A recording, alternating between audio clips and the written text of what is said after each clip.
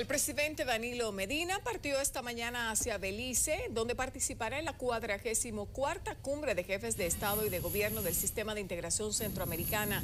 A su salida, el primer mandatario fue abordado en torno a la decisión de los diputados sobre sus observaciones al Código Penal, pero rehusó emitir opinión alguna y se limitó a saludar. El jefe de Estado partió a Belice en un vuelo privado por la base aérea de San Isidro y tiene previsto regresar esta misma noche al país.